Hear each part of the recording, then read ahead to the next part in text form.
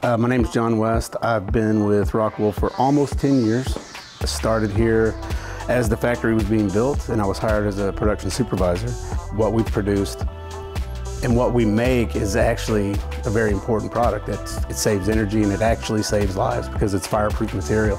They're committed to, um, to succeeding here in Marshall County. K1 furnace operators. We're the one who take the raw stone, melt it down, and uh, spin into the wool fiber we have, which is essentially rock wool insulation.